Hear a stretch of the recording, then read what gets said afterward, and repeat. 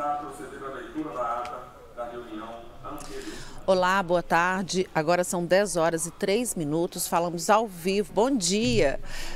São 10 horas e 3 minutos, falamos ao vivo aqui do plenário, onde acaba de ser iniciada a reunião extraordinária, onde há na pauta há nove proposições, entre elas uma proposta de emenda à Constituição e também um projeto de lei complementar. O presidente da Assembleia, deputado Agostinho Patrus, coordena os trabalhos desta manhã.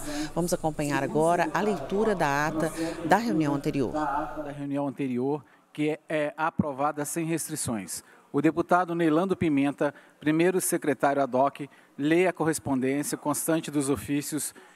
Isso posto, a presidência passa a receber proposições quando lhes são encaminhados o projeto de lei número 4117/2022 e os requerimentos números 12.630 a 12.639/2022.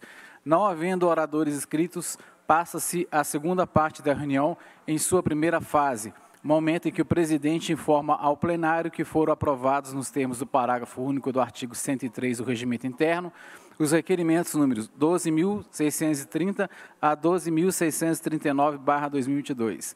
A seguir, a presidência verifica de plano a inexistência de quórum para a continuação dos trabalhos e encerra a reunião, convocando as deputadas e deputados para a extraordinária de amanhã, dia 23, às 10, às 14 e às 18 horas, nos termos dos editais de convocação.